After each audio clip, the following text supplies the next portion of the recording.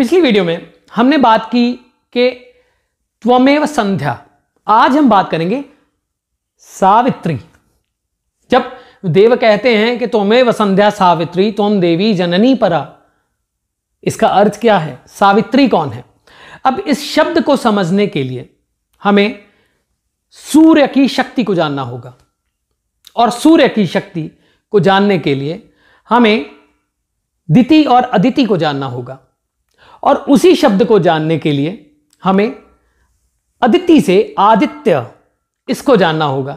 आदित्य से सावित्री, सूर्य की शक्ति, सूर्य का तेज, तुम ही संध्या हो, वो अमृत बेला, वो ठंडा हल्का हल्का प्यारा सा सूरज जो तुम देखते हो सुबह उठते हुए, जो उगता है और लाल लाल लगता है और मन को भाता है, लुभावना लगता है, तुम ही हो। जब मैं उठता हूँ, मैं सामने देखता हूँ, उसे देखता हूँ तो मेरा मन कितना शांत होता है। मेरे मन में शांति भरने वाली भगवती तुम ही हो, और अमृत रूप बरसाने वाली तुम ही हो। अब यहाँ पे स्वरों को भी जानना होगा, ये बहुत डिटेल्ड हो जाएगा। परंतु थोड़ा सा बात, चंद्र स्वर आलस, आलस्य, शांति। सूर्य स्वर क्या है? सूर्य स्वर है तेज, तेज़ी। तो अग्नि और सन जब उगता है तो शांत होता है, परंतु दोपहर का, दोपहर 11 बजे 10 बजे के बाद में शाम तक जो सन की एनर्जी होती है तो वो क्या है? वही तो आपको भगाती है। आप रात में भागते हैं। रात में, रात शयन के लिए बनी है, रात्रि शयन के लिए बनी है, दिन काम के लिए बना है। और जहाँ पे जब गर्मियाँ होती हैं तो आप कितना एनर्जेटिक हो जाते हैं, जब सूर्य, जिन जिन जगहों पे सूर्य कम है, वहाँ पे लोगों की इम्यूनिटी भी कम है। क्यों? क्योंकि energy of sun does not come there properly है ना? तो इसीलिए इसी प्रकार से सावित्री कौन है?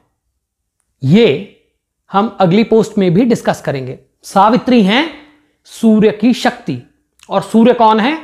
आदित्य। आदित्य कहाँ से आए? अदिति से। अदिति के, अदिति से आदित्य, अदिति से देव हुए। सब देवों के जो राजा माने गए हैं, वो सूर्य नारायण माने गए हैं। सूर्य को नारायण कहते हैं।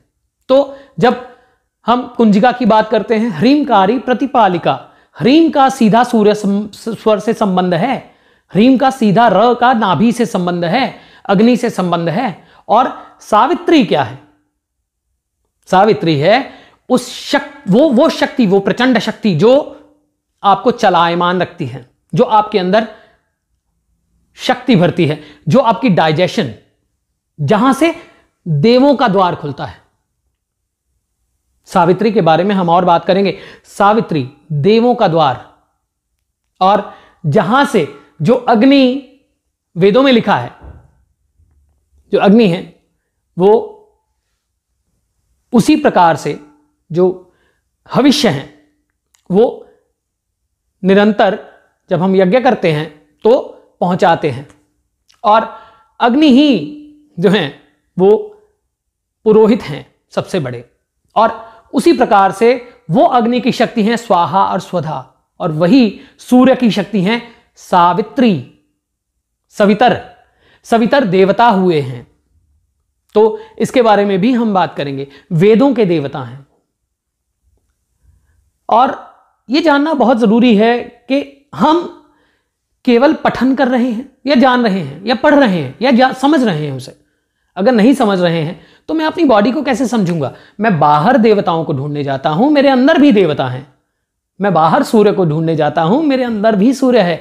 जैसे ही यथा पिंडे तथा ब्रह्मांडे, जैसे ही बाहर सूर्य उदय होता है, मेरे अंदर भी सूर्य उदय होता है। जैसे ही चंद्रोदय बाहर होता है, मेरे अंदर भी होता है, और नहीं होता है तो मैं बीमार हूँ। मैं, मेरी बॉडी रेगुलराइज्ड नहीं है तो इसीलिए यही रोग होते हैं। सावित्री, जो सूर्य की शक्ति हैं, और सूर्य तेज का प्रतीक, सूर्य ह्रीम, सूर्य शक्ति, सूर्य प्रचंड शक्ति, और सूर्य ही कारण है, जो फ़ोटो, ये आपका ग्रीन हाउस इफ़ेक्ट होता है, उसके प्लांट्स में ग्रीन हाउस इफ़ेक्ट होता है ना? यदि सूर्य ना हो तो नहीं हो पाता। क्यों नहीं हो पाता? सनलाइट से ही हम एब्जॉर्ब करते हैं। प्लांट्स सनलाइट से एब्जॉर्ब करते हैं। हमने बचपन में सबने पढ़ा है। यही है शक्ति, सूर्य की। वो जो अर्थ तक जो भरण करती है, वो है सावित्री। और इसके बारे में हम और बात करेंगे आगे।